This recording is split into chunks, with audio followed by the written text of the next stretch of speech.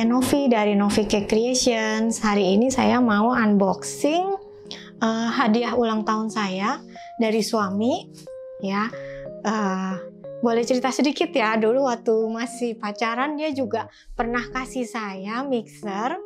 Ya, tapi mereknya Philip. Terus ada bowlnya juga gitu loh.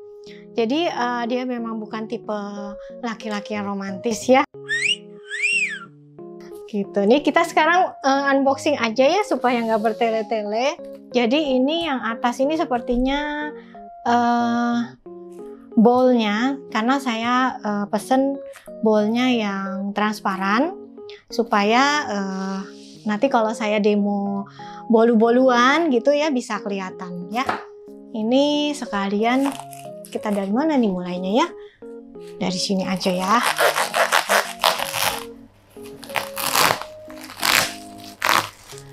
Mudah-mudahan isinya aman karena tadi pakai uh, pengiriman yang motor yang instan ya. Wow, ini dia uh, packingnya benar-benar aman ya.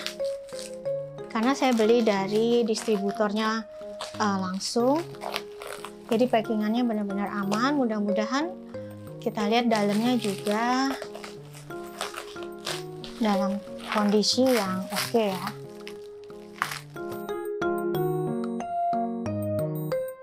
Ini plastik wrapnya seperti koper kita kalau naik pesawat ya.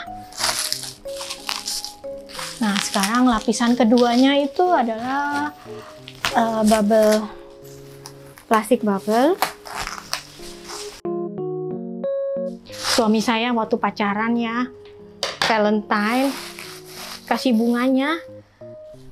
Dia beli di pinggir jalan dia buru-buru ternyata bunganya plastik teman-teman. Nah ini ini mangkoknya tuh kan? Jadi dia transparan. Nah ini adalah mixernya.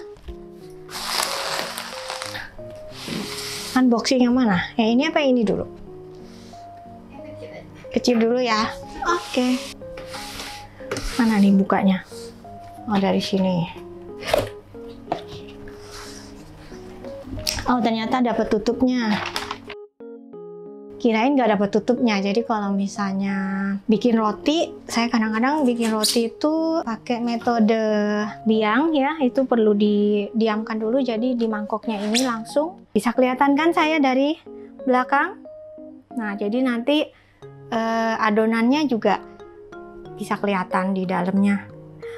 Teman-teman nggak perlu dilihat dari atas lagi. Oke ini jadi seperti ini. Dia bilang dishwasher safe berarti bisa pakai mesin pencuci piring yang itu tapi saya nggak punya ya. Kita nggak perlu. Nah wah kenceng juga ya. Dia bisa uh, kenceng. Jadi kalau misalnya uh, adonan yang kita mau simpen tinggal kita tutup aja Cakep kan? Ya, oke. Okay.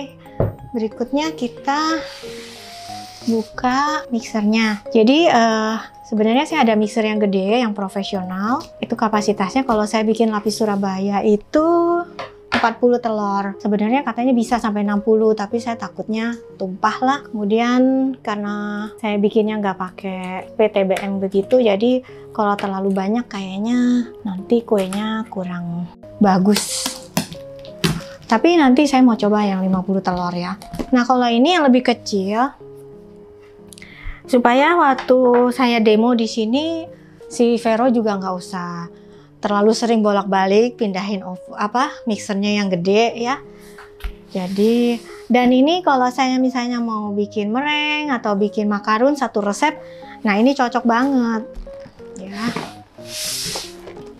Wah, ininya udah kebuka. Ininya udah kebuka teman-teman. Nih. Udah kebuka. Jadi uh, saya tertarik dengan mixer yang lebih kecil ini karena pertama dia ada bowl yang ini. Kalau mixer saya yang gede itu di Indonesia belum ada bowlnya ya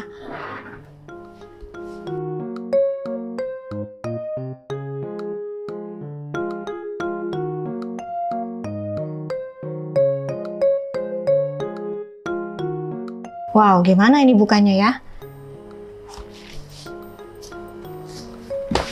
Hmm, saya dedel aja ya. Saya dedel aja dari sini ya. Karena kan dusnya nanti juga saya nggak bakalan pakai lagi. Nah, ini saya dedel aja dari sini. Nah, ini warnanya. Saya mau yang warna ini karena saya sudah punya chopper sama hand mixernya yang warnanya sama. Jadi nanti kalau misalnya uh, bisa lebih bagus lagi tempat saya bikin video jadi dipajang itu uh, warnanya bagus ya seragam gitu oke okay.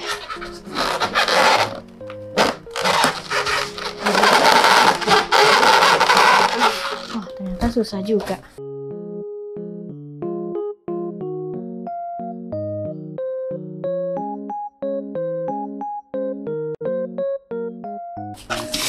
Ini ada buku manualnya dalam berbagai bahasa.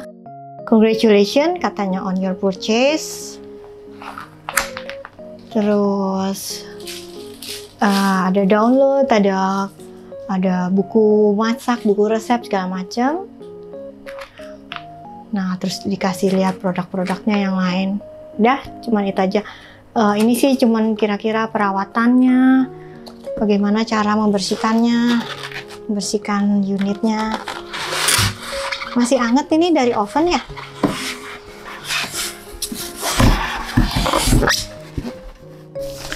ini uh, penutup yang kita kalau mau kasih tepungnya di sini tapi biasanya saya nggak pernah pakai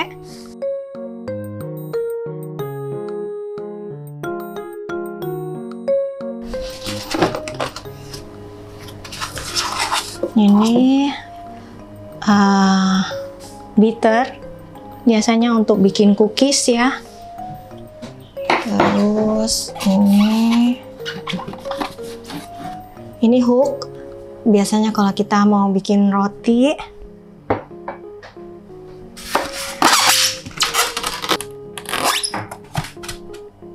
Nah udah kebuka semua tuh warnanya merah kan? Sama nggak sama ini? Coba. Tuh sama kayak jadi nanti uh, warnanya bisa seragam. Nah ini kabelnya. Kalau kita beli di Indonesia ya uh, dapetnya dua gini ya seperti yang kita uh, fold yang di Indonesia. Kalau misalnya kita beli di luar negeri uh, nanti teman-teman uh, takutnya dalamnya nggak cocok sama listrik Indonesia jadi uh, kalau mau beli di luar negeri tuh harus pikir, uh, dipikirin itunya ya. Nah ini kalau attachmentnya saya punya yang untuk bikin mie uh, sama buat giling daging ya di sini. Ini kayaknya buat ini tuh ya buat rilis sama ini kita kalau mau giniin kita pencet ke sini lagi dia baru bisa diangkat jadi ini ini yang buat telur. Jadi uh, kenapa uh, saya bukannya promosi ya? Kenapa saya lebih suka Kitchen Aid? Karena uh, yang setahu saya itu dia jarak antara uh, whip sama mangkoknya di sini ya itu one penny dia bilang. Jadi one penny itu kayak satu koin jadi segini. Jadi kalau uh, saya ngocok mereng atau ngocok uh, makarun ya adonan putih telurnya makarun itu kita nggak usah sampai gini-giniin lagi, gini-giniin lagi biar dia sampai ke bawah. Jadi kalau kitchen aid itu uh, keunggulannya di situ. Tapi kalau misalnya teman-teman tahu merek yang lain yang seperti ini juga ya, boleh uh, komen ya. Jadi ini seperti ini. Kemudian ini. Nyopotnya gimana pastinya harus bisa langsung dicopot.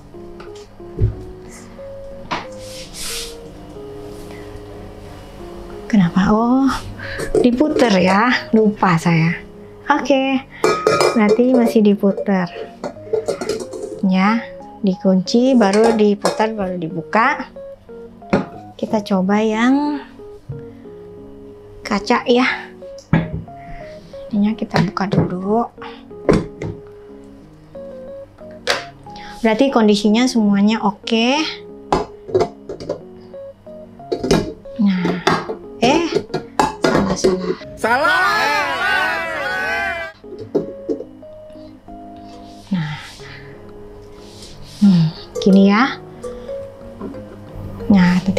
kita lihat.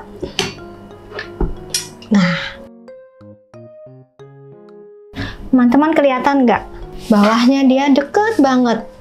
Jadi istilahnya itu hampir eh, nggak ada celah nih, nih di sininya nih di biternya ini, ya.